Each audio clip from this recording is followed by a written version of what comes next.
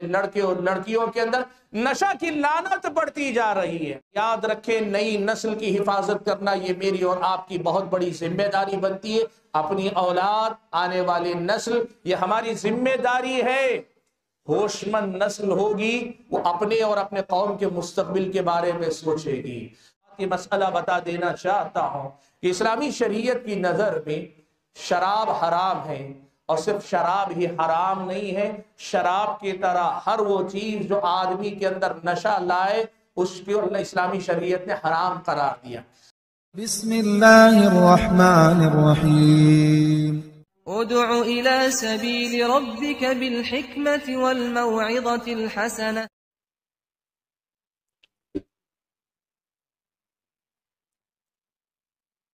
अल्हम्दुलिल्लाह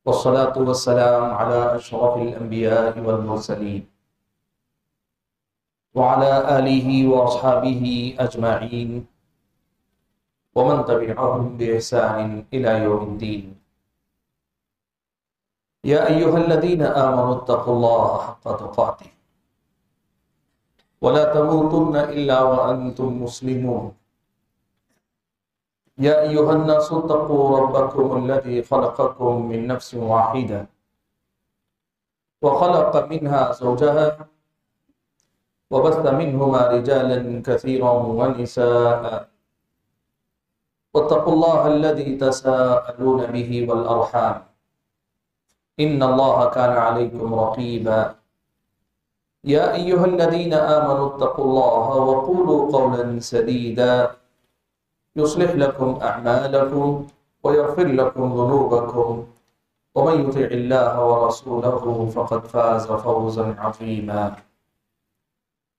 अम्मा बअदु फ़अऊज़ु बिल्लाहि मिनश शैतानिर रजीम बिस्मिल्लाहिर रहमानिर रहीम या अय्युहल्लज़ीना आमनू इन्नमल ख़म्रु वल मैसिरु वल अंसाबु वल अज़लाम रिजसुम मिन अमलिश शैतान फज्तनिबूहु लअल्लकुम तुफ्लिहून इन्नमा युरीदु शैतानु अन युक़िअ बैनकुमुल अदावत वल बग़दाअ फिल ख़म्रि वल मैसिर व यसुद्दकुम अन ज़िक्रिल्लाहि व अनिस सलाह फहल अंतुम मुंतहून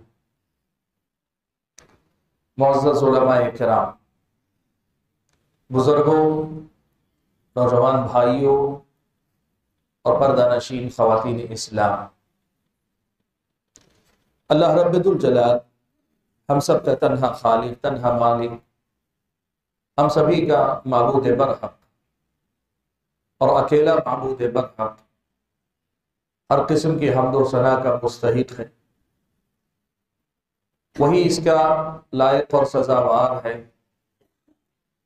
जिसने हम और आपको दीन इस्लाम की दौलत से मालामाल फरमाया है। शरीयत मतहरा की ऐसी पाकिज़ा तालीमात से हम और आपको नवाजा है। जो तालीमात हम और आपको इस दुनिया में जीने का एक बेहतरीन तरीका सिखलाती हैं और आखिरत में अल्लाह तबारक के पास कामयाब और कामरान होने, जहन्नम से नजात पाकर जन्नत में जाने का अकेला जो रास्ता है, उस रास्ते से हम और आपको जोड़ती है। हाजिन गिरामी, आज की इस मजलिस में मुझे जिस उनवान पर गुफ्तगु करने के लिए कहा गया है, वो उनवान है नशे की लानत, यानी ये जो नशा खोरी है, नशा करने की जो आदत है, इस हवाले से किताब सुन्नत और समाज और माशरे में उसके असरात। इन दोनों से मुतालिक जो बातें हम और आपको मिलती हैं, उनमें से कुछ अहम और बुनियादी बातों को मुझे आज आपके सामने रखना है। सबसे पहली बात यही देख लें कि नशा आदमी पुराने जमाने में भी करता था, हर दौर में नशे का माहौल रहा है। पुराने जमाने में नशे का सबसे बड़ा ज़रिया शराब नोशी थी, लोग शराब पिया करते थे। और जरा जमाना और तरक्की हुआ तो हशीश, मुख्तलिफ़ किस्म की लोग इस्तेमाल किया करते थे। हमारा और आपका जो दौर है, इस दौर में नशा और नशे की शक्लें और नशा करने के तरीके बहुत ज़्यादा बढ़ गए वजह उसकी ये है कि पिछले जितने दौर होते थे, पिछले जमाने में, या तो लोग शरीयत के मातहत जीते थे, जिस शरीयत के भी नाम ले हो, इस्लाम के दौर से पहले ईसाइयत का दौर, उससे पहले यहूदियत का दौर, उससे पहले अंबिया दीगर, उनकी शरीयतें। आदमी या तो शरीयत के जेर साया उसके दबाव में रहता था, या फिर आदमी समाज के दबाव में रहता था, सरपरस्तों, बड़ों और बुज़ुर्गों के दबाव में रहता था। या फिर ये कि आदमी कम अज कम अखलाक और शराफत के नाम पर खुद अपने अखलाकी अकदार का लिहाज किया करता था। हम जिस दौर में आए हैं, ये दौर आज़ादी का दौर है। इंसान की आज़ादी और शख्सी आज़ादी आज के दौर में सबसे बड़ी चीज़ और इस आज़ादी का मतलब ही ये है कि आदमी सिर्फ़ एक उसूल पे ज़िंदगी गुजारे कि मेरी ज़ात, मेरी शख्सियत से किसी का नुकसान ना होने पाए। यानी मेरी अपनी हरकत सकनात मेरी गुफ्तगु, मेरी शख्सियत से किसी और का नुकसान ना हो तो फिर मैं अपनी ज़िंदगी में जो चाहे कर सकता हूँ, मेरे लिए कोई चीज़ नाजायज नहीं, कोई चीज़ मेरे लिए हलाल नहीं, कोई चीज़ मेरे लिए ममनू नहीं कोई चीज़ मेरे लिए गलत नहीं, जब तक मेरी तरफ़ से किसी और का नुकसान नहीं हो रहा नया जमाना इसी आज़ादी का पुजारी, नए जमाने में जमहूरियत हो कि जमहूरी अकदार से हटकर इंफरादी ज़िंदगी में हो, उसूल ज़िंदगी जीने का यही है कि आदमी आज़ाद है, खुद मुख्तार है, वो किसी का पाबंद नहीं, वो मज़हब की पाबंदी से भी आज़ाद है, वो समाज की पाबंदियों से भी आज़ाद है और हद तो ये है कि इंसानी अकदार, इंसानी जो वैल्यूज़ जिसे कहते हैं सोशल वैल्यूज़ इन सबसे आज़ाद है। आदमी की आज़ादी ही सब कुछ है। और जब आदमी आज़ादी की बात करता है तो असल में सबसे पहले गुलामी वहीं से शुरू होती है। एक अल्लाह ताला की गुलामी से आज़ाद जब होता है तो वह आज़ाद नहीं होता। कई चीज़ों का गुलाम बन जाता है। वो जो बात कही ना कि वो एक सजदा जिसे तो गरा समझता है, हज़ार सजदों से देता है आदमी को नजात। अल्लाह तबारक की बंदगी, इंसान को सबकी बंदगी से निकाल लाती है। लेकिन ये बंदा जब अल्लाह की बंदगी से आज़ाद होना चाहता है तो फिर वो कई चीज़ों का गुलाम होता है। और उन गुलामियों में से एक गुलामी इंसान के नफ्स की गुलामी है, ख्वाहिशात की गुलामी है। और इसकी एक शक्ल ये नशाखोरी भी है। नशाखोरी क्या है? ये शौक की तकमील है। नशाखोरी क्या है? ये ख्वाहिशात को की गुलामी है। नशाखोरी क्या है? ये आदमी का खुद अपने आप के तई ये उसूल है कि मैं ज़िंदगी में ऐसी चीज़ अपनाऊँगा जिस चीज़ से मुझे ज़िंदगी के मसाइल से फरार हासिल करना आसान हो जाए। हाजिन गिरामी इसीलिए बात कहना चाह रहा हूँ कि आप समझिए कि हम जिस दौर में जी रहे हैं, इस दौर में नशे के रास्ते बढ़ गए। नशे को बुरा समझने का माहौल घट गया है। नशे करने वालों के लिए बहुत सारे इम्कान बढ़ा दिए गए, बल्कि आज तो नशाखोरी के जितने जराए हैं अनऑफिशियली ऑफिशियली गवर्नमेंट की निगरानी में शराब के बाकायदा ठेके चलते हैं और गवर्नमेंट की निगरानी से बाहर बाकायदा माफिया है जो शराब जो नशे की मुख्तलिफ़ चीज़ों को रिवाज देता है। आपको मालूम है, हुकूमतें जब बनती हैं तो जिन कलमदानों के लिए लोग आपस में लड़ते हैं, ये वो जरा आपस में लड़ाई करते हैं, उनमें से एक बड़ा कलमदान माना जाता है, महकमा आबकारी। ये आबकारी क्या है? यही शराब नोशी का मुका ये, जिसके लाइसेंस देने होते हैं, लाइसेंस पे कमीशन लिए जाते हैं आप यकीन कीजिए हुकूमत की सरपरस्ती में भी शराब के रिवाज को आम देने का पूरा सिस्टम है। और दूसरी तरफ़ बाकायदा माफिया बाकायदा तिजारत है। वो जो अंधेरों में चलती है वो जो गरीब बस्तियों के, के अंदर चलती है वो जो मजबूर किस्म के नौजवान बेरोजगार किस्म के नज़र आते हैं वैसे नौजवानों के ज़रिए चलती है। ये पूरा माफिया है जो नशे को समाज के अंदर रिवाज देना चाहता है। और उसका नतीजा यह है कि शराब क्या ही नहीं, आज नशे की इतनी सूरतें रह गई कि शराब आज पीछे रह गई। शराब से ज़्यादा तेज नशा लाने वाली और शराब से ज़्यादा ताकतवर नशा लाने वाली दसियों सूरतें आज हमारे समाज में। और मैं आपको ये बात बताना चाहूँगा, आज आप मेरी पूरी तकरीर से कोई और बात ना ले जाए, सिर्फ़ यही एक बुनियादी बात जानकारी के तौर पे ले जाए तो है हम ये ना समझें कि ये आदत बच्चों में नहीं आती, ये बड़ों में आ रही है नहीं। नए समाज का ये फ़ैशन है कि ये जो बच्चे अभी लड़कपन की उम्र में दाखिल होते, लड़कपन की उम्र ही से बच्चों का जहनी रुझान नशे की तरफ़ बनता जा रहा है। आपने पता नहीं, अखबारों में अखबार में कभी ये खबरें पढ़ी है कि नहीं पढ़ी हैं? कई ऐसे मुकाम पे बाकायदा ऐसी टीमों को गिरफ़्तार किया गया है, जो स्कूलों के बाहर चॉकलेट की शक्ल में, टॉफियों की शक्ल में हल्के किस्म के नशे को शाम हल्के किस्म के नशे के साथ बनी हुई चॉकलेट फरोख्त करते हैं। वो जो बच्चे अपने घर से पॉकेट मनी लेके निकलते हैं, अपना जेब खर्च लेके निकलते हैं, वो बच्चे स्कूल के अंदर जाते हुए या स्कूल के दरमियान इंटरवल के दौरान या फिर स्कूल से घर आने से पहले वो चॉकलेट खरीदते हैं। वो जो ठेला लेके आता है, वो जो साइकिल लेके आता है, उनके पास से जो चॉकलेट खरीदे जाते बाज औकात उन्हीं चॉकलेटों में बच्चों को हल्के हल्के किस्म का नशा दिया जाता है।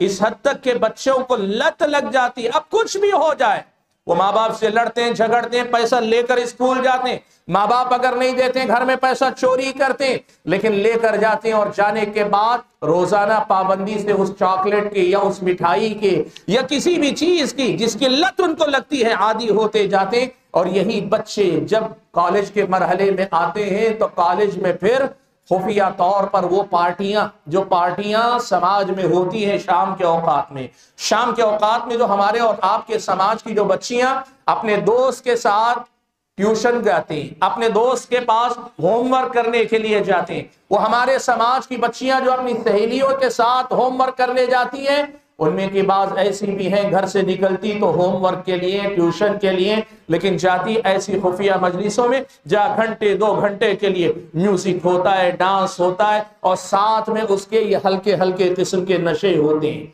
ये नशे की लत ऐसी होती है कि दिखाई नहीं देती माँ बाप को पता नहीं चलता। वो नशे में धुत होकर आए, ऐसा पहले दिन नहीं होता। ये हल्के हल्के लगने वाली लत है और लगते लगते वो मुकाम आता है कि फिर इनमें से कम से कम बाज बच्चे तो ऐसे हो जाते हैं, वो नशे की लानत की जद पे आके उसके हत्ते चढ़ के बर्बाद हो जाती है।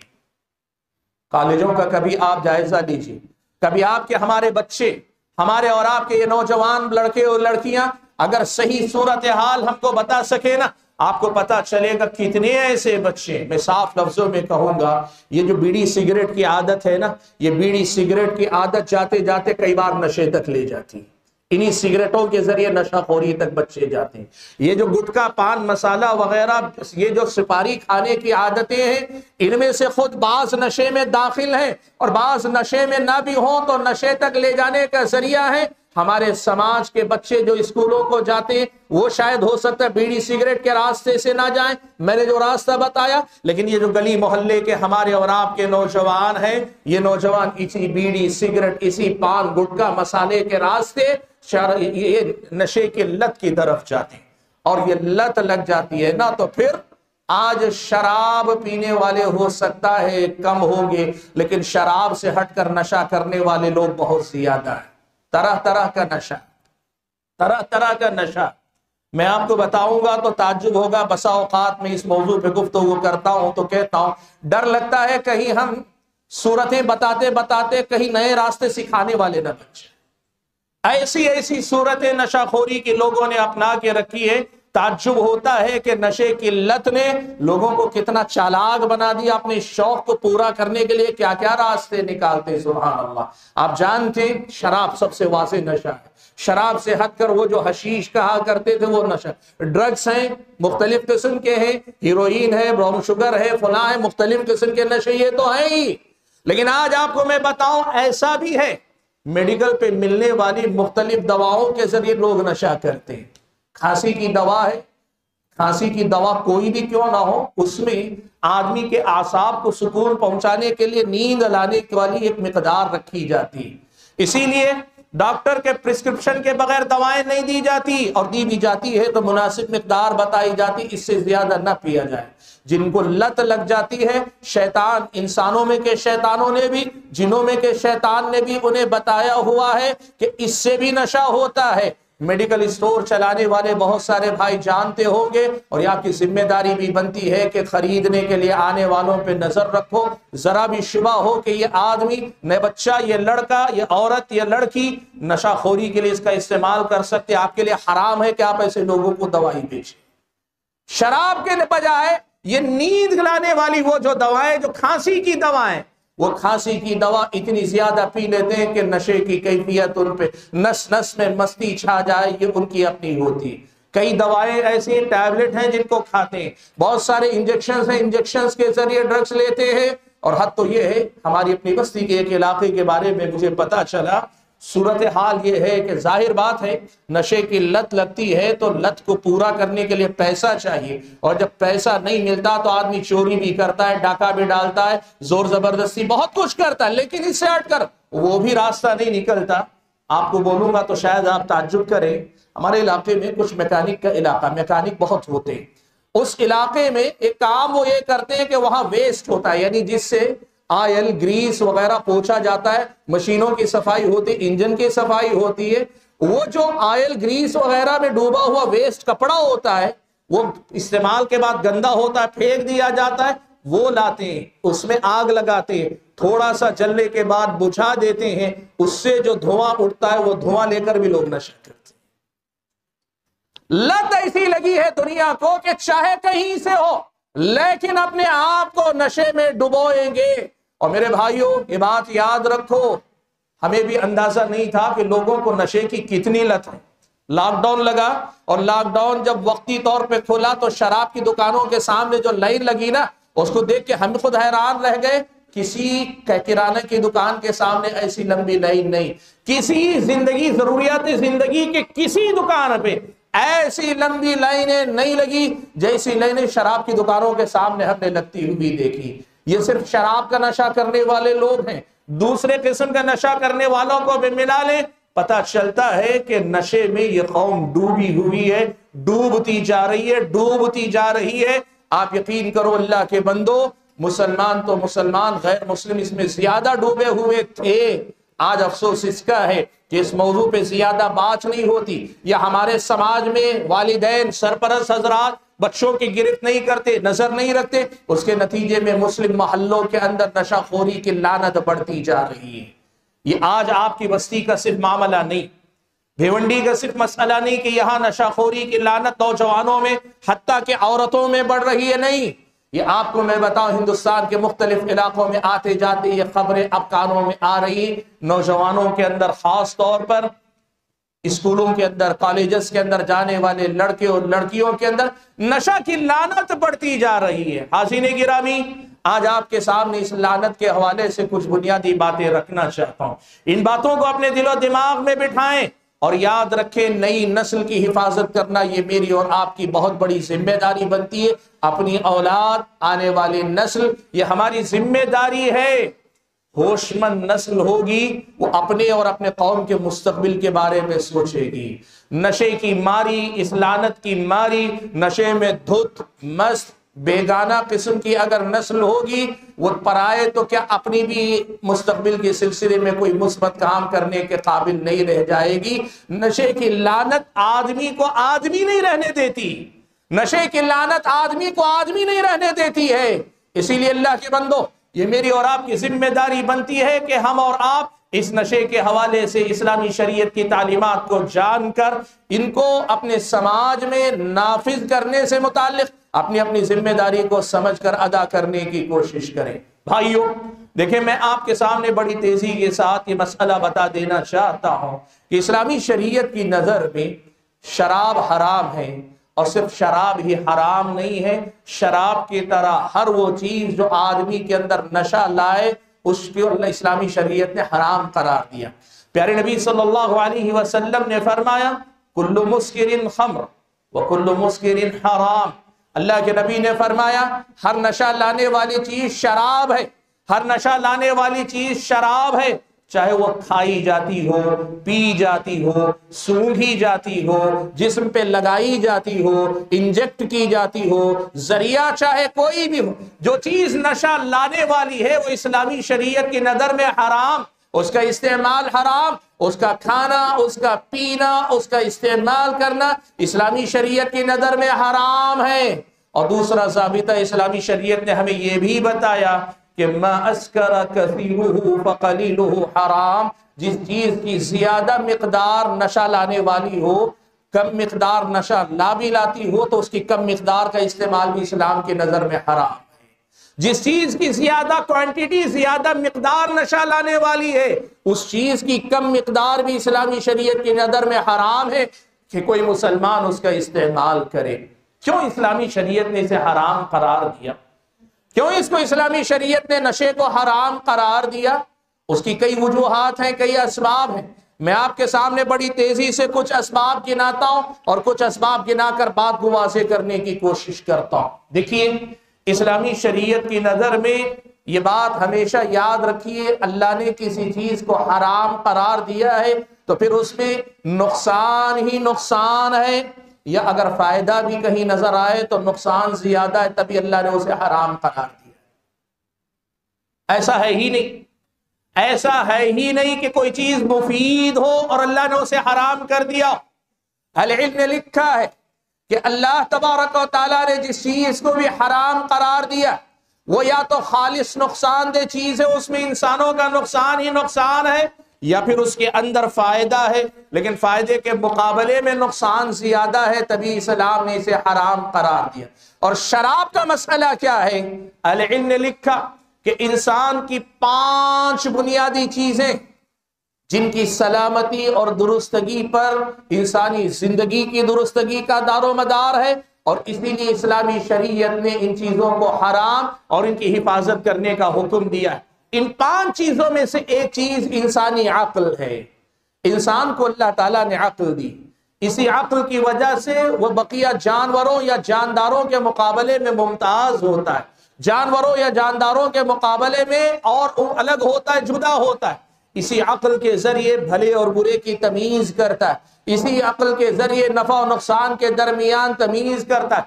इसी अकल के ज़रिए अपने आप को काबू में रखता है कंट्रोल करता है। इसी नफ्स के ज़रिए, इसी अक्ल के ज़रिए अपने अंदर के हैवान को हैवान बनने नहीं देता। इंसान के अंदर के जानवर को इंसानियत के दायरे में कैद इंसान अपनी अकल की वजह से रखता है। और इसी अक्ल की बुनियाद पर एक बंदा शरीयत मुतहरा का मुकल्लफ होता है। यानी शरीयत का लग, शरीयत का हुक्म लागू ही उस वक्त होता है जब आदमी अकल वाला हो। प्यारे नबी सल्लल्लाहु अलैहि वसल्लम ने फरमाया तीन किस्म के लोगों पर से कलम उठा लिया जाता है। यानी वो अल्लाह ताला की तरफ़ से मुकल्लफ ही नहीं होते। वो कौन है? अल्लाह के नबी ने फरमाया, छोटा बच्चा जब तक बालिग ना हो जाए, इसलिए कि अभी उसकी अकल कच्ची है। दूसरे नंबर पे फरमाया, सोया हुआ आदमी यहाँ तक कि वो बेदार हो जाए, इसलिए कि सोया हुआ आदमी अपने अकलो होश को गंवा देता है। और तीसरे नंबर पे अल्लाह के नबी वसल्लम ने फरमाया, जो आदमी पागल है, दीवाना, अकल है ही नहीं उस आदमी के पास। इन तीन किस्म के लोगों पर से कलम उठा लिया जाता है, यानी ये शरीयत की पाबंदियों से आज़ाद होते हैं। इसका मतलब ये हुआ कि शरीयत के मुकल्लफ होने के लिए अकल का अपनी जगह ठहरा रहना ज़रूरी। इस्लामी शरीयत की नज़र में इंसान इसी अक्ल की बुनियाद पर मुकल्लफ होता है और इंसान को इस बात का हुक्म है कि अपनी इस अक्ल के सहारे पूरे होशो हवास के साथ अल्लाह की बंदगी वाली ज़िंदगी गुजारे। वो कुछ करता है तो उसे पता है, मैं कुछ कर रहा हूँ। अगर उसे पता है कुछ, किसी काम को छोड़ रहा है, रुक रहा है तो उसे मालूम होना चाहिए, मैं किसी चीज़ को छोड़ रहा हूँ। ज़िंदगी होश में होनी चाहिए, होशमंदों वाली ज़िंदगी होनी चाहिए। यही असल में अल्लाह ताला की बंदगी वाली ज़िंदगी है।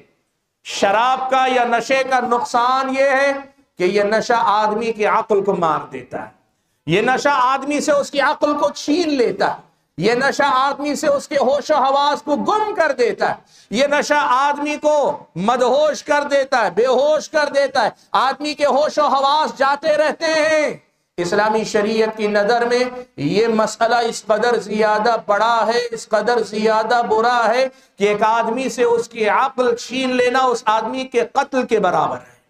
एक आदमी से उसकी अकल छीन लेना उस आदमी के कत्ल के बराबर है। अगर आप किसास के मसाइल पढ़ेंगे अगर आप किसी आदमी से जो बदला लिया जाता, किसी ने किसी पे ज्यादती कर दी, सर फोड़ दिया, हाथ तोड़ दिया, दांत तोड़ दिए, कुछ नुकसान पहुँचा दिया तो जो किसास के आदाब है उसमें आपको पता चलेगा, किसी आदमी की अकल जाय कर दे तो कत्ल के बराबर उसे जुर्माना दिया देना पड़ता है। इतना बड़ा जुर्म है। जमाने जाहिलियत का एक बद्दू था। जमाने जाहिलियत में एक बद्दू जमाने जाहिलियत में शराब तो आम था। आपने सुना होगा ना, शराब तो उनकी भुट्टी में पड़ी हुई थी। सुबह शाम शराब के नशे में डूबे रहने वाले। एक बत्तू ऐसा था, उस जमाने में भी शराब वो नहीं पीता था। किसी ने उससे पूछा, शराब क्यों नहीं पीते? उसने कहा, ला अशरबो मा यशरबो अकली। मैं वो चीज़ पी ही नहीं सकता जो चीज़ मेरी अक्ल को पी जाए। जो चीज़ मेरी अक्ल को पी जाए, मैं वैसी चीज़ पी नहीं सकता। नशा आदमी की अक्ल छीन लेता है। और आदमी से उसकी अकल छीन लेना, यूँ समझिए उससे उसकी बंदगी के मसले को छीन लेना, और इस्लामी शरीयत की नज़र में बहुत बड़ा गुनाह है, बहुत बड़ा गुनाह है। इसीलिए आप देखिए, शरा, इस्लामी शरीयत ने गुना बहुत सारे बता ये गुना ये गुना ये गुना लेकिन सिर्फ़ मुंतखब चंद गुनाहों पे अल्लाह ताला ने हद जारी करने का हुक्म दिया। सजाएँ जो इस्लाम में मुकर्र की गई, कुछ मुंतखब गुनाहों पर ही दुनिया में सजा देने का हुक्म दिया। और उन मुंतखब गुनाहों में शराब नोशी भी है। प्यारे नबी सल्लल्लाहु अलैहि वसल्लम ने शराब पीने वाले को चालीस कोड़े लगवाए। हज़रत अबू बकर सिद्दीक अल्लाह के नबी के जमाने में बगैर गिने हुए कोड़े लगाए गए। अबू बकर रज़ी अल्लाह के जमाने में चालीस कोड़े लगे। जब हज़रत उमर का जमाना आया, वो कुछ लोगों के अंदर शराब नोशी का रुझान बढ़ गया। हज़रत उमर रज़ी अल्लाह ने उसको बढ़ाकर अस्सी कोड़े कर दिए। आदमी अगर शराब पीते हुए पकड़ा जाता ना उस पर अस्सी करोड़ों की सजा दी जाती थी। और ये अस्सी कोड़े कितने पता है आपको? गैर शादीशुदा जिना करने वाला आदमी अगर पकड़ा जाता है तो फिर उसे सौ कोड़े मारे जाते गैर शादीशुदा। शराब नोशी की सजा हज़रत उमर ने अपने जमाने में अस्सी कोड़ों तक पहुँचा दी। इसलिए कि आदमी अगर शराब पीता है तो शराब पीने की वजह से आदमी अपनी अकल अपना होश गवा बैठता है। यूँ समझिए कि वो आदमी बंदगी से निकल जाता है और हकीकत यह है कि बंदगी से आगे निकलकर इंसानियत के दायरे से भी निकल जाता कुरान सुन्नत अगर हम और आप पढ़कर देखें, सबसे पहली बुनियाद ये मिलती है कि शराब को इसलिए हराम किया गया कि ये इंसानी अक्ल को मात देती है। इंसान से उसकी अक्ल छीन लेती और जिसकी अक्ल जाती है, वो अल्लाह की बंदगी से भी जाता है, वो अपनी इंसानियत से भी जाता है। दूसरी वजह अगर हम और आप देखें, कुरान में अल्लाह ताला ने शराब के बारे में कई बातें बयान फरमाई। एक बात तो अल्लाह ने फरमाई, इन्नमल वल वल वल रिजुसुन कहा। रिजुसुन कहते हैं गंदगी को। वो जिसको देखकर तबीयत घिन महसूस करे। कहा, शराब गंदगी है। जिसको देखकर तबीयत में घिन महसूस होनी चाहिए। और आपको मैं बताऊँ, शराबी का मामला बड़ा अजीब है। जब पीता है, शराब की कड़वाहट से इसका मुँह बिगड़ जाता है। जब पीता है, शराब की कड़वाहट से उसका मुँह बिगड़ जाता है। और जब नशे से बाहर निकलता है, सुबह में सरदर्द से उसका सर फटा जाता है। ये रिज है, गंदगी है, जब पीता है, तब भी तकलीफ़ है। मुँह बनाता है, कड़वाहट है, उसे झेलता है। और जब पीने के बाद, जब आदमी दोबारा होश में आता है, सरदर्द से परेशान रहता है। लेकिन बस मसला ये है कि पीने के बाद जो नशा आता है, वो जो मस्ती छाती है, वो जो कैफो सुरूर की कैफी आती उसके लालच में आदमी ये दोनों गंदगियों को बर्दाश्त करता है। कितने शराबी है रात में शराब पी, सुबह में जहाँ उठा, वहाँ गंदगी कै किया गंदगी। रिज सुन, ये गंदगी है अल्लाह के बंदो। रिज सुन, ये गंदगी है। इसे शरीफ तबीयतें कभी पसंद नहीं कर सकती। शरीफ तबीयतें कभी इसे पसंद नहीं करती। और अगर आप इसके गंदे होने को समझ सके तो देखें, शराब बनने का प्रोसेस क्या है? अगर आप देखेंगे, अक्सर बेशतर। अब जमाना तरक्की कर गया। बहुत तरीकों से शराब बनती है, लेकिन शराब बनने का जो पुराने जमाने से तरीका आया, वो क्या था पता है ना आपको? फल, फ्रूट जो भी होते, उनको सड़ाया जाता, गलाया जाता है। सड़ने, गलने के बाद फिर उसमें से शराब बनती। रिज सुन, गंदगी है, सड़ा हुआ फल नहीं खाते, लेकिन सड़े हुए फल से बनी हुई शराब पीते हो। रिज सुन, गंदगी अल्लाह के बंदो। दूसरी बात कुरान की इसी आयत में अल्लाह ने फरमाई, मिन अमल शैतान। ये चार काम है, ये चारों के चारों शैतानी काम। ये चारों के चारों शैतानी काम है, गोया शराब नोशी भी असल में शैतानी काम है। ये शैतानी काम है कि आदमी शराब नोशी करे, या ये शैतानी काम है कि आदमी नशा करे। बात मैं शराब के हवाले से कर रहा हूँ। वजह उसकी यह है कि नसूस में शराब के बारे में ज़्यादा बातें आई। लेकिन आप याद रखिए अल्लाह के नबी की हदीस, कुल्लु मुस्किन खम्र। हर नशा लाने वाली चीज़, नशा आवर चीज़, वो शराब ही है। इसका मतलब ये हुआ, शराब की जो कबाहतें बयान की गई, वो नशा आवर चीज़ों की कबाहतें अल्लाह के अल्लाह ताला ने फरमाया मिनाम शैतान मिनाम शैतान ये शैतान का काम मोमिन तो दूर की बात है, किसी इंसान का काम नहीं हो सकता। मोमिन तो मोमिन है, एक अच्छा इंसान शराब नहीं पी सकता।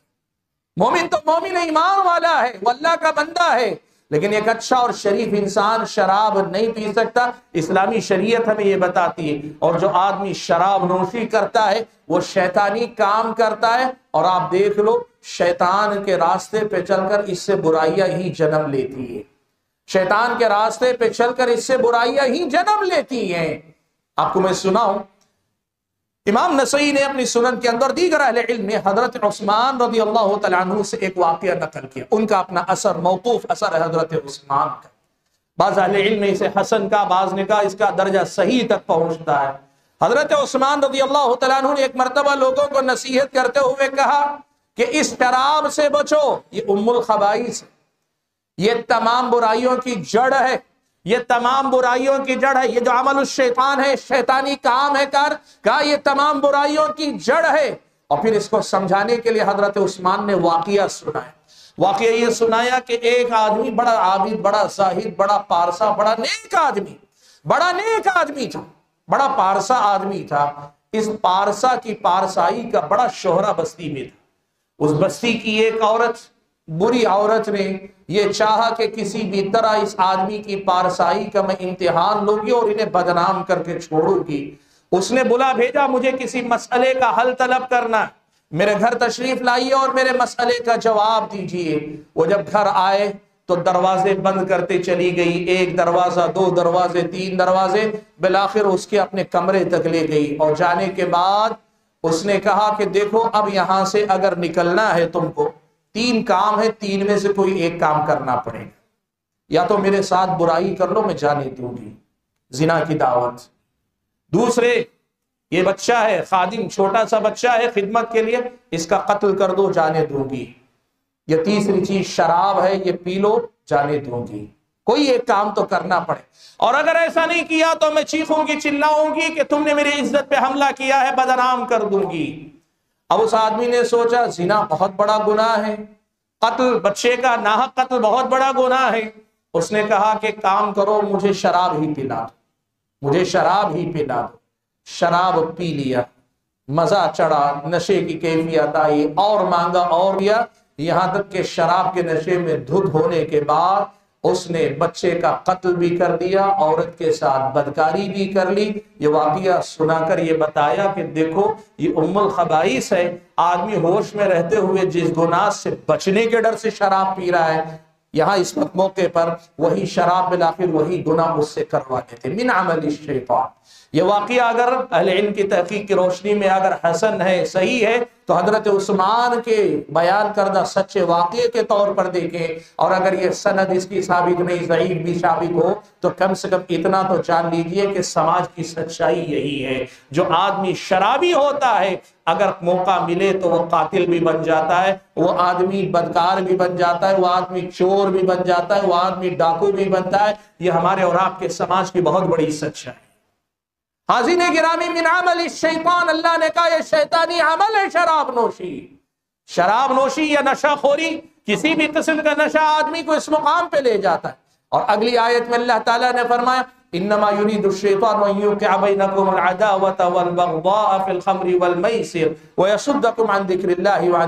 चार बातें ज़िक्र की। का एक तो अदावत है, दूसरे है बगदा अदावत और बगदा में फ़र्क यह है कि जो दुश्मनी आदमी के दिल में रहे, उसे बगवाओ कहते हैं। हम उर्दू में उसे बुग्ज कहते हैं।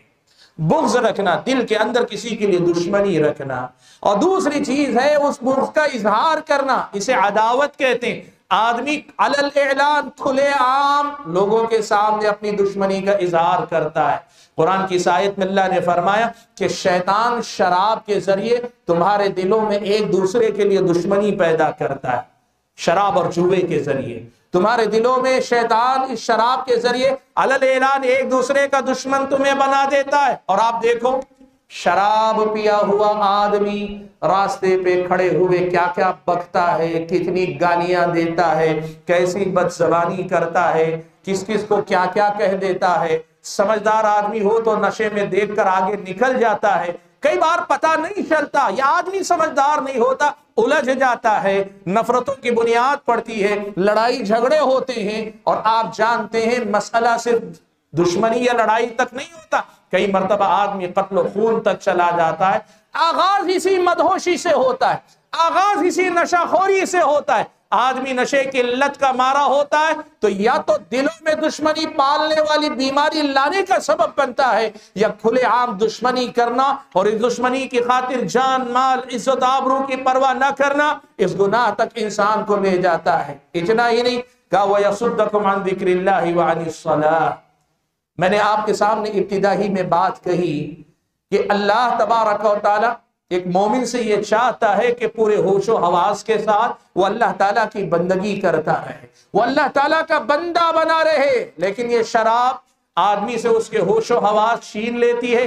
नतीजा ये होता है कि शराबी आदमी अल्लाह ताला के ज़िक्र से भी गाफिल होता है और शराबी आदमी नमाज़ से भी गाफिल होता है। ये शराब, ये जुआ आदमी को अल्लाह के ज़िक्र से और नमाज़ से भी गाफिल किया करते हैं। हाजिर गिरामी, आप यकीन कीजिए, ये अल्फाज अगर हम और आप, जो मैंने आपके सामने बड़ी तेज़ी से गिना दिए एक एक लफ्ज पे रुक कर, उसके माने के बाद उसके असरात समाज में किस किस शक्ल में ज़ाहिर होते, देखते जाएँगे तो पता चलेगा कि इसे जो उम्मुल खबाइस कहा गया है, ये वाकई मानों में बड़ी गहरी बात है, समाज में इसके बड़े दूर रस्म होते हैं। हाजिर गिरामी, इस शराब नोशी का मामला याद रखें कि ये आदमी से न सिर्फ़ ये कि उसका दीन और ईमान छीनते हैं अल्लाह के ज़िक्र से गाफिल करते हैं, बल्कि आदमी से आदमी की इंसानियत भी छीन लेते हैं। नशाखोर आदमी शुरू में तो नशा सिर्फ़ मज़े के लिए करता है, लज्जत के लिए करता है, कैफो मस्ती के लिए करता है। फिर वो मुकाम आता है कि जहाँ आदमी इसका गुलाम बन जाता है। और गुलाम का मतलब क्या हुआ? फिर ये उसका शौक नहीं रह जाता, ये उसकी ज़रूरत बन जाता है। और ज़रूरत भी इस हद तक बन जाती है कि आदमी अपना सब कुछ लौटा दे, उसको खाना नहीं चाहिए, पानी नहीं चाहिए, लेकिन उसे अपना नशा चाहिए होता है। नशा चाहिए होता इसलिए कि ये लत लग जाती है तो आदमी इससे पीछा छुड़ा ये मुश्किल हो जाता है आदमी के लिए। नामुमकिन तो नहीं होता, नामुमकिन तो नहीं रहता, लेकिन मुश्किल ज़रूर हो जाता है आदमी के लिए नशे से पीछा छोड़ाना। अब उसके नतीजे में क्या क्या होता है, मैं दो चार चीज़ें बड़ी तेज़ी से आपके सामने गिना देता हूँ। सबसे पहला मसला यह है कि आदमी अपने जिस्मानी नुकसान का तो जिस्म का तो नुकसान करता, अपना जिस्मानी नुकसान करता ही है। शराब की वजह से, फेफड़ों की खराबी और कैसी कैसी बीमारियाँ, लोगों को आती, हार्ट की बीमारियाँ, फेफड़ों की बीमारियाँ, या यूँ समझिए कि जिसमा जिसम के अंदरूनी में से सारे आजा तकरीबन शराब नोशी से मुतासर होते हैं। और ज़्यादा दिन नहीं होते, जवानी में आदमी बुढ़ापे की दहलीज पे कदम रख देता है। अभी जवानी के मराहल तय नहीं करता, उसके आजा बुढ़ापे के मरहले से आगे नो निकल जाते हैं। और कई बार आदमी, जिसको लोग कहते ना, हालाँकि अल्लाह के पास हर एक का वक्त मुकर्र है, लेकिन लोग कहते हैं शराब पीने की वजह से वक्त से पहले मर गया। कहने का मतलब ये कि आदमी इन चीज़ों को इस्तेमाल करने के नतीजे में अक्सर बेशतर बुढ़ापा भी नहीं देख पाता। वो आदमी अपने नुकसान करता है, जिसमानी एतबार से कितने बड़े नुकसान उठाता है, आप कभी डॉक्टरों से पूछ ले, शराब नोशी के तिब्बी नाहिए से नुकसान क्या है? तिब्बी ही ऐसे। मेडिकल के तरफ़ से नुकसान क्या है? आपको पता चलेगा, फहरिस्त इतनी लंबी है, सिर्फ़ वो पढ़कर आदमी उससे पीछा छुड़ाने के लिए तैयार हो जाए। और तिब्बी नुकसान से आगे बढ़कर अगर हम और आप देखें, आदमी माली नुकसान, यानी अपनी जान का भी नुकसान कर रहा है, अपने माल का भी नुकसान करता है। आपको मालूम है, शराबी को जब लत लग जाती है, नशाखोर को जब नशे की लत लग जाती है, इस लत को पूरा करने के लिए आदमी अपना सब कुछ लौटा देता है। कितनी मिसालें आपको चाहिए बाप बड़ा बाकमाल इंसान था, बड़ा ताजिर था, बड़ा जमींदार था, बड़ी जायदाद छोड़ी, बड़ी दौलत छोड़ी। बेटे के अंदर सिर्फ़ नशे की एक लत थी। बेटे ने अपने नशे की लत में बाप दादा की सारी जायदाद लुटा दी। और नौबत आई कि न सिर्फ़ ये कि बाप दादा की दौलत लुटा दी, बल्कि बाप दादा के नाम पे जो समाज में पहचान थी, उसकी आड़ में लोगों से कर्जा लेता गया, कर्जा लेता गया, कर्जा लेता गया। नौबत यहाँ तक पहुँची कि अब जायदाद तो दूर की बात, उसको भी बेच दिया जाए तो उसकी कीमत अदा कर।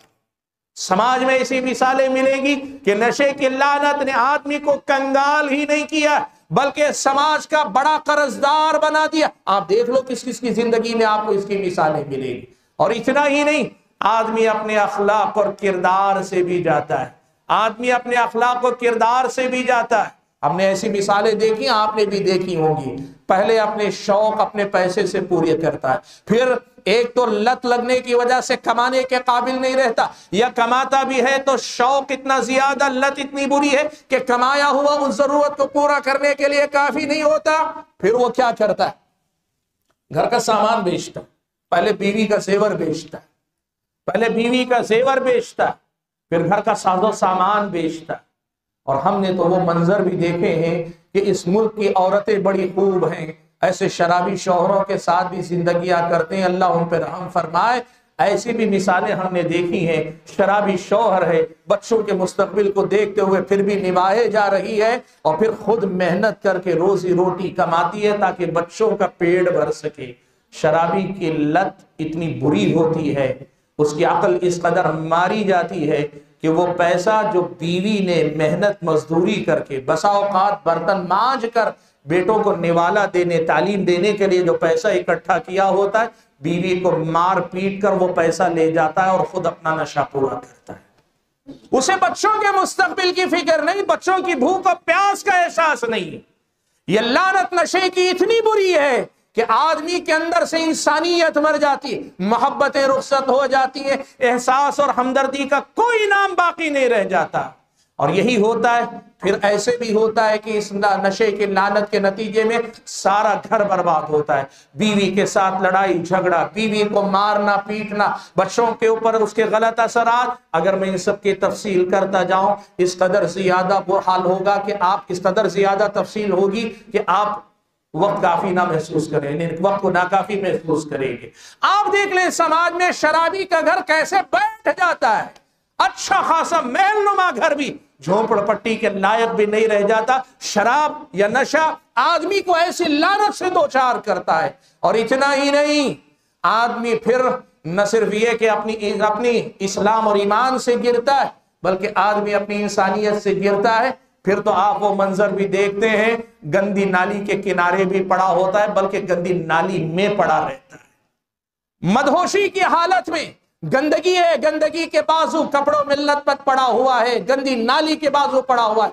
बदबू है, गंदगी है, लेकिन नशे की लत में ऐसे डूबा है, जिस जगह कुत्ते नहीं बैठते, वहाँ इंसान पड़ा होता अल्लाह के इस लानत को पहचानो, ये इंसान को कहाँ का कहीं का नहीं रखती। जिस जगह पे जानवर रहना पसंद नहीं करते, ये नशे की लानत आदमी को वहाँ भी गिराती। और इतना ही नहीं, फिर यही आदमी अगर ये सारी चीज़ें नहीं रहती तो अपनी लव अपनी अपनी लत को पूरा करने के लिए मुजरिम बन जाता है।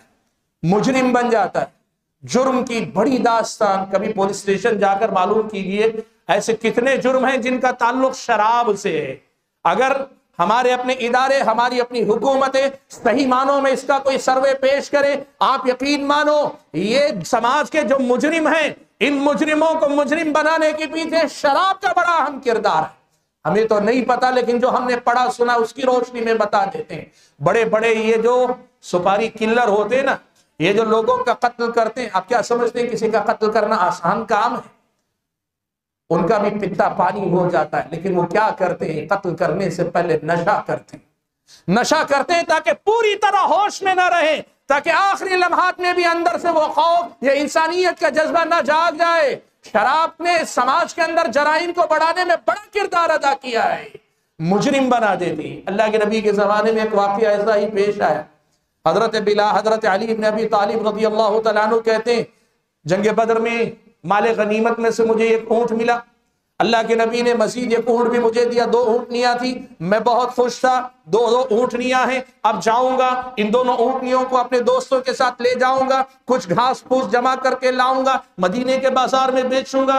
और हज़रत फातिमा रती अल्लाह तला से निकाह के लिए मैं अपना महर तैयार कर लूँगा, पैसा जमा कर लूँगा। कहते मेरी ऊँटनियाँ एक जगह बंधी हुई थी। और उसी घर के अंदर हज़रत हमजा रबी अल्लाह उस वक्त तक शराब की हरमत का हुक्म नाजिल नहीं हुआ, शराब हराम नहीं हुई थी। हज़रत हमजा अंदर बैठे अपने कुछ अहबाब के साथ शराब पी रहे थे।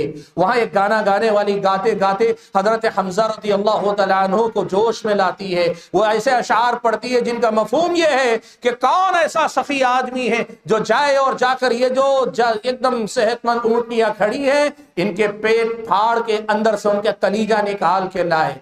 हज़रत हज़रत हमजा रदी अल्लाह उठे, गए और जाकर उन्होंने दोनों ऊंटनियों के पेट चाक कर दिए, यानी उनको मार दिया और उनके पेट से वो कलेजा निकाल के ला के दिए। हज़रत अली रदी अल्लाह वापस आए, देखा दोनों की दोनों ऊंटनियाँ कटी फटी पड़ी हैं। रोने लगे हज़रत अली, बेसाख्ता, शादी की उम्र है। लेकिन आप जानते हैं जिस आदमी की सारी उमंगे किसी चीज़ से जुड़ी हुई है, हज़रत उस हजरा ने हज़रत हमजा ने नशे की जद में आकर उनका ही सारे ख्वाब चिकना चूर हो गए। अल्लाह के नबी के पास रोते हुए आए। कहने लगे, अल्लाह के नबी हज़रत हमजा ने मुझ पर ऐसा जुल्म उठाया। अल्लाह के नबी आए, तशरीफ़ लेकर आए और आकर अल्लाह के नबी घर में दाखिल हुए और दाखिल होकर अल्लाह के नबी ने पूछा कि ये क्या किया आपने? हज़रत हमजा नशे में थे पूरी तरह। उठाई आँखें निगाहें, देखा आँखें सुर्ख हैं, नशे में डूबी हुई है। कहने लगे हलन तुम आबाई? तुम कौन हो? तुम तो मेरे बाप के गुलाम ही हो ना? हज़रत हमजा मुसलमान हैं, हालत इस्लाम में है, लेकिन नशे की जद में है तो उनको इसका भी एहसास नहीं कि सामने प्यारे नबी खड़े हैं। अल्लाह के नबी वसल्लम ने हालत देखी तो कहा कि, चलो चलो, हमजा इस वक्त नशे में है, अल्लाह के नबी बाहर चले आए। भाइयों, ये वाकया शराब के हराम होने से पहले का है। इसकी वजह से हज़रत हमजा की शान में कोई फ़र्क नहीं आता। लेकिन जो मसला मैं बताना चाहता हूँ ये कि नशे की लत जब लगती है और जब आदमी नशे में धुत होता है, उसे किसी चीज़ का होश नहीं रहता। एक तो हज़रत अली के माल पे जियादती कर बैठे और मुहासबा करने वाले को कह रहे हैं, तुम मेरे बाप के गुलाम हो सुबहान अल्लाह नशे नशे की आदत आदमी को ऐसी ही जहनी सतह पे ले जाती है। वो समाज के लिए खतरा बन जाता है। वो समाज के लिए मसला बन जाता है। हाजिर गिरामी, वक्त इजाज़त नहीं देता कि मैं तफसील में जाऊँ। लेकिन जो बात आपके सामने असल में रखना चाहता हूँ वो ये कि ये जो समाज है, ये होशमंदों का समाज है। यहाँ होशमंदी ईमान के रास्ते पर चलने की बुनियादी शर्त है। आदमी मुकल्लफ होता है अकल की बुनियाद पर। अगर समाज को नशे की लानत में, नशे की लत में मुबतला रहे उसका शिकार होने के लिए छोड़ दिया जाएगा। आप यकीन करो, बसे बसाए घर उजड़ जाएँगे, बने बनाए कारोबार डूब जाएँगे, जमा की हुई जायदादें लुट जाएगी और सबसे बढ़कर दीनों ईमान लुट जाएगा अल्लाह के बंदो। इसलिए अपनी नई नस्ल की हिफाजत कीजिए। और आखिरी बात, बड़ी अहम बात आपके सामने कहता हूँ, याद रखो, नशे की लानत से पीछा छुड़ाना मुमकिन है। मुमकिन है। शर्त यह है कि हम सब मिलकर संजीदा कोशिश करें। अल्हम्दुलिल्लाह, हुकूमत की तरफ़ से नशा मुक्ति केंद्र के नाम पे बाकायदा वहाँ वहाँ इदारे कायम है। आप और हम अगर ये कोशिश कर पाए, बस्ती में, मोहल्ले में, खानदान में, कबीले में, मिलने मिलाने वालों में, दोस्त अहबाब में, जिस किसी को नशे का आदि बनते हुए देखें, चाहे वो इंतहा दर्जे को पहुँच चुका हो या इब्तदाई दर्जे में अगर जरा सा हम कोशिश करेंगे, इन डूबती जिंदगियों को फिर से उठा के ला सकते हैं, अल्लाह के फ़र्ज़ करम के इन डूबते हुए घरों को फिर से बचाने का काम कर सकते हैं। शर्त क्या है? हम और आप वाकई मानों में कोशिश करें, दो काम करें।